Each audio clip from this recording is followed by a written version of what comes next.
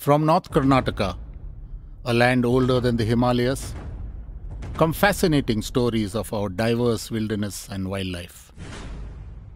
Unique and amazing endemic species, some found nowhere else on the planet.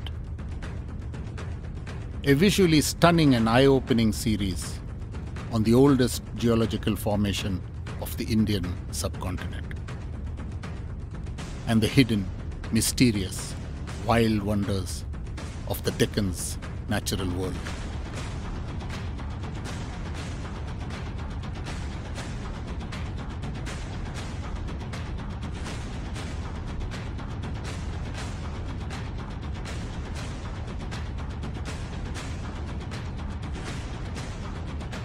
This is Koppal. This is our wildlife. This is the Deccan.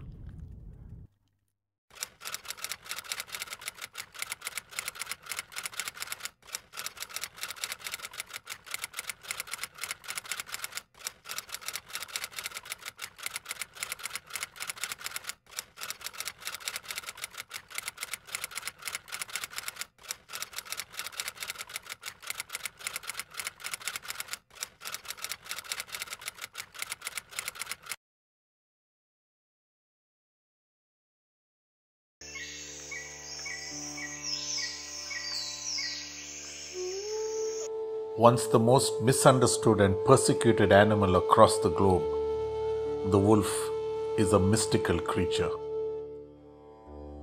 For centuries, folklore and myth have painted the wolf as savage and sinister, fueling terror and leading to the misconception that wolves pose a serious threat to human life, despite volumes of evidence to the contrary.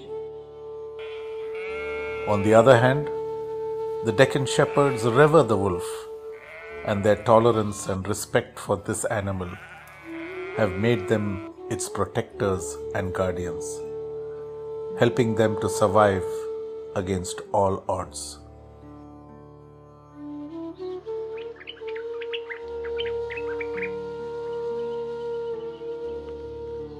Known for its fierce appearance and legendary hunting prowess, the wolf is an evolved predator and often provokes wonder, fear, and awe.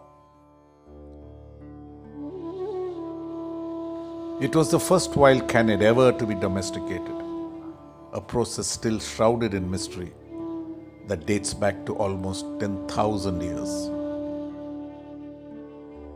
The grey wolf was once the most widely distributed mammal on planet Earth and the Indian wolf is a subspecies confined to small pockets of human dominated spaces.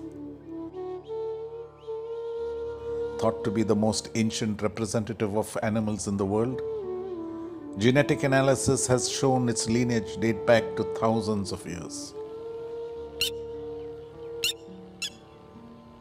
And the Indian wolf is recognized as a separate species. Canis lupus pallipes. These wolves have been our dearest friends and direst enemies. Found in the Deccan, the Indian wolf lives in open plains, grasslands, and rocky scrub jungles, the last refuge for this highly endangered species. Their long grey hairs provide protection against solar radiation in this arid, hostile region they call home. Wolves, like other wildlife, consume certain native flora as these plants have medicinal properties that cure ailments.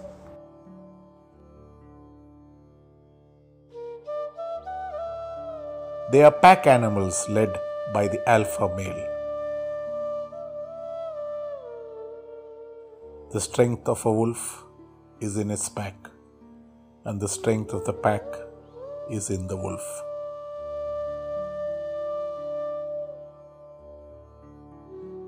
Wolves procreate in October, and the breeding female will litter in winter when food is available in plenty.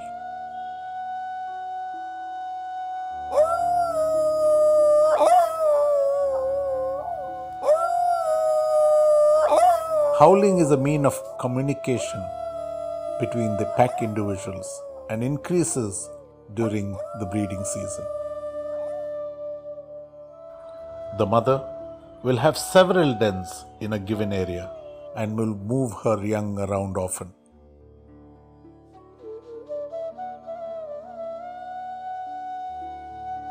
Every member of the pack devotes itself completely to the pups that are born to the alpha pair, making sure that the young grow up to be strong.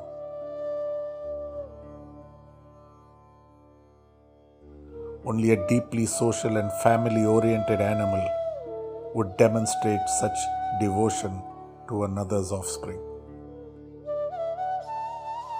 Today, the Indian wolf faces extinction.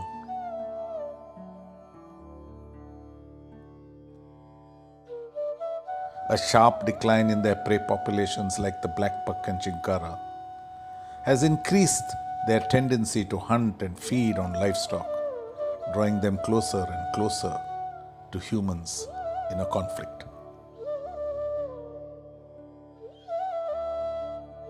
Habitat loss and degradation, unplanned and unsustainable development further threaten their survival. Wolves are a critical keystone species of the grasslands. By regulating prey populations, wolves enable many other flora and fauna to flourish. Without them, the grasslands ecosystem would fail to support this biodiversity and they may cease to exist altogether. We at DCF are working to preserve these last habitats and the remaining wolf populations in Koppal and surrounding North Karnataka. By involving locals across civil society, integrating grassroots level strategic partners like the shepherds as our stakeholders, we hope to save this legendary hunter.